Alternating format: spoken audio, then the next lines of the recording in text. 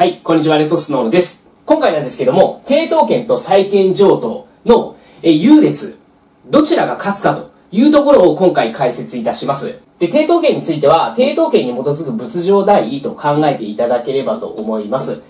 で、まあ、今回判例の内容なんですけれども、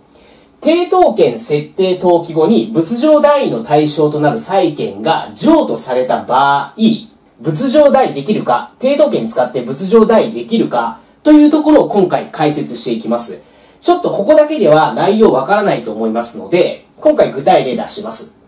A さんが B さんにお金貸しました。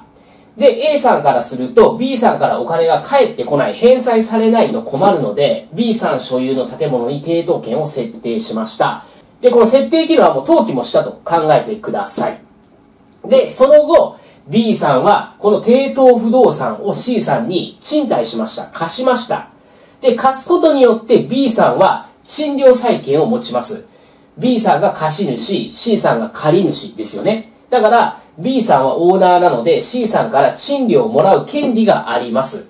で、この賃料債権、この権利を D さんに譲渡しました。つまり債権を譲渡したという状況なんですね。なんで、この賃料債権はこっちに行くんですけれども、この場合、抵当権を使って、この賃料債権差し押さえできるかと。ここからお金回収できますかというのが今回の内容なんですね。で、2回ぐらい前かな。前回の動画もそうなんですけども、前々回の動画かな。でも、仏上代のところでお伝えしたんですけれども、この人いない場合はもちろん、抵当権の仏上代位という性質を使って、これ、賃料債権差し押さえできるんだけれども、今回の問題っていうのは、これが債権上としてもう D さんのところに行っているという状況なんですよ。この場合でも A さんはこの抵当権を使って、賃料債権差し押さえしてそこから回収できますかというのが今回の問題なんですね。で、結論から言うと、これ、仏上代できます。つまり、この賃料債権、ここから回収することができるんですね。で、これなぜかというと、これちょっと考えていただきたいんですけども、A さんはこの抵当権の設定登記をした時点で、この賃料債権をもらう権利について、もう第三者に対する対抗要件備えてるわけですよ。抵当権の設定登記をした時点で。で、その後、B さんは D さんに債権譲渡しているわけですよね。で、もし D さんがその後対抗要件を備えたとしても、A さんのこの抵当権の設定登記の方が早いわけですよね。つまりこっちが勝つっていう話なんですよ。D さん、債権譲渡の対抗要件っていうのは、債権譲渡のところで勉強しますので、まあ今は分からなくてもいいですけども、債権譲渡のところも勉強されたという方は、ここは分かっておかないとダメですね。で、D さんの対抗要件ってどういった内容かというと、この賃料債権の債務者っていうのは C さんですよね。で、債権の譲り渡し人っていうのは B さん。で、譲り受け人は D さんですよね。だから債権譲渡の関係で言ったら、B、C、D が関係者なんですよ。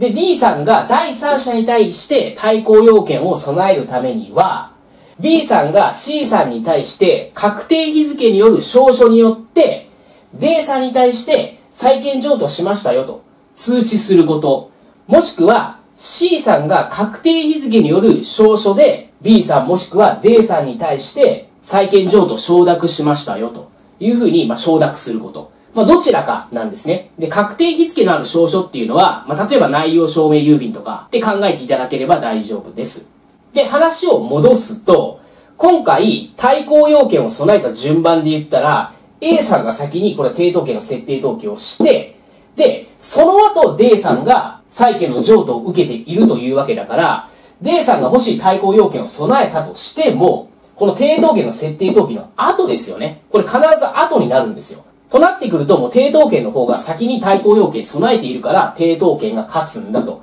つまり、債権譲渡されたとしても、仏上代できますよ。抵当権を使って、この賃料債権、こっちに行っていたとしても、差し押さえできますよと。まあ、いう話です。もちろん、この賃料が払われた後はこれ差し押さえできませんよ。これなくなっちゃうので、賃料債権自体がなくなるので、賃料が払われる前に差し押さえましょうと。まあ、いった内容です。で、今回のように理解をしながら学習したいという方はぜひ個別指導をご検討ください。理解ができれば1回で合格できますんで、もし1回で合格したいっていう方はぜひ個別指導をご検討いただければと思います。個別指導についてはこの動画の下の概要欄に URL 貼っておきますので、そちらからご確認ください。宅建合格目指して一緒に頑張っていきましょう